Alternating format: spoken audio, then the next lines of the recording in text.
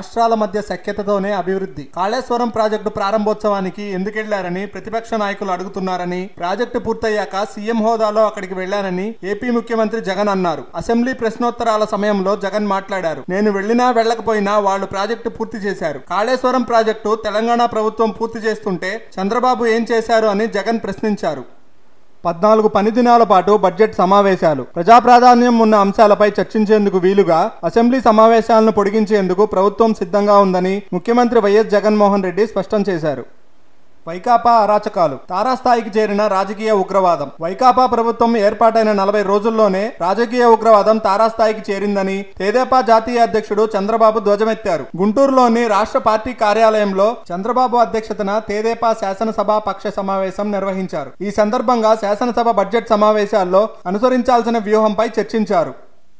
అయోధ్యపై supreme ultimatum. July ఇరవై ఐదు నుంచి రోజువారీ విచారణ. అయోధ్యలోని రామ జన్మభూమి బాబ్రీ మసీద్ భూ వివాదం సమస్య పరిష్కారంలో మధ్యవర్తిత్వం ఎలాంటి ప్రయోజనం కల్పించట్లేదంటూ దాఖలైన పిటిషన్ పై సుప్రీంకోర్టు రాజ్యాంగ ధర్మాసనం నేడు విచారణ చేపట్టింది. అయోధ్య కేసులో ఈ నెల పద్దెనిమిది లోపు మధ్యవర్తిత్వ కమిటీ అప్పటి వరకు ఉన్న సమగ్ర నివేదికను ఇవ్వాలని ఆదేశించింది. సఖ్యత దెబ్బతింటేనే ఇబ్బందులు. ఏపీ ముఖ్యమంత్రి జగన్ తనకు అన్ని తెలుసనుకోవడం మంచి పద్ధతి కాదని ప్రతిపక్ష నాయకుడు చంద్రబాబు ఆరోపించారు. జగన్ వయసు తన రాజకీయ అనుభవంతో ఉందని అన్నారు. సఖ్యత దెబ్బతింటేనే ఇబ్బందులు వస్తాయని అన్నారు. సమూల ప్రక్షాళన. మూడు నెలల్లో మార్పు చూడబోతున్నాం. అవినీతిని సమూలంగా నిర్మూలించడం ఏమాత్రం లంచాలు ఇచ్చే అవసరం లేకుండా ప్రజలు ఎదుర్కొంటున్న సమస్యల శాశ్వత పరిష్కారం కోసమే నగర రెవెన్యూ గ్రామీణ విధానాలను దృఢచిత్తంతో రూపొందిస్తున్నామని తెలంగాణ ముఖ్యమంత్రి కేసీఆర్ తెలిపారు.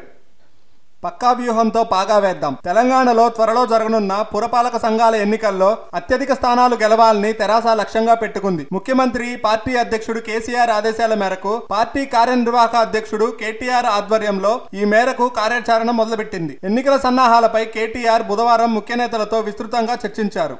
చిన్నారులపై లైంగిక నేరాలకు పాల్పడితే ఉరిశిక్ష కేంద్ర కేబినెట్ బుధవారం కీలక నిర్ణయాలు తీసుకుంది. ప్రధానమంత్రి నరేంద్ర మోడీ నేతృత్వంలో భేటీ అయిన కేబినెట్ పలు అంశాలపై చర్చించి వివరాలు ప్రకటించింది. ఫోక్స్ చట్ట సవరణకు ఆమోదం తెలిపింది. చిన్నారులపై లైంగిక నేరాలకు పాల్పడితే ఉరిశిక్ష పడేలా చట్టానికి సవరణ చేయనుంది.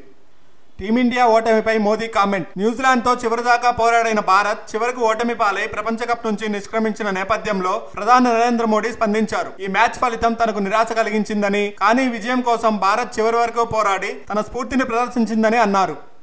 చిరు నూట యాభై రెండవ చిత్రంలో ఐష్. మెగాస్టార్ చిరంజీవి నూట యాభై రెండవ చిత్రంలో బాలీవుడ్ బ్యూటీ ఐశ్వర్యారాయ్ను కథానాయికగా ఎంపిక చేసుకుంటున్నారా? అవుననే అంటున్నాయి టాలీవుడ్ వర్గాలు. కొరటాల శివ ఈ సినిమాకు దర్శకత్వం వహించనున్నారు. కొణిదెల ప్రొడక్షన్ కంపెనీపై రామ్ చరణ్ నిర్మాతగా వ్యవహరించనున్నారు.